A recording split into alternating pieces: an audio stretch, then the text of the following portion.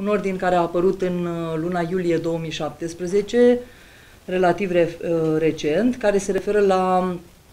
uh, instrumentele de lucru care vor fi utilizate în ciclul al doilea de acreditare a spitalului.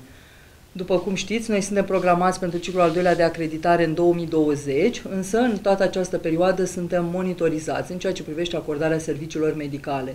Ca și noutate, fără să insistăm asupra detaliilor din acest ordin, este faptul că instrumentele de lucru, și ne referim aici la listele de verificare, care, uh, a, care erau până acum în număr de 36, pentru ciclul al doilea de acreditare, uh, numărul listelor este de 70, deci aproape dublu. Aceste liste, să știți că au fost deja aduse la cunoștința structurilor medicale și structurilor administrative din cadrul spitalului nostru pentru a se familiariza și intenționăm să începem să lucrăm după aceste standarde începând cu 1 ianuarie 2018.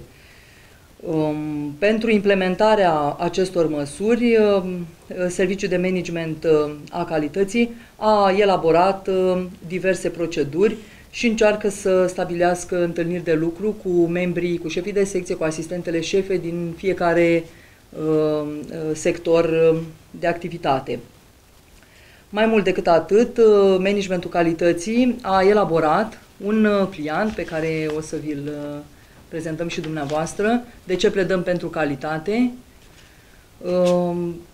sistemul de management a calității de la cerință și necesitate,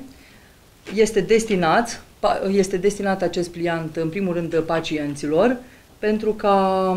intenționăm să câștigăm încrederea pacientului, uh, respectul pacientului față de personalul medical și să promovăm uh, o imagine corectă a spitalului și a serviciilor pe care le poate oferi spitalul uh, vis-a-vis -vis de relația cu pacientul.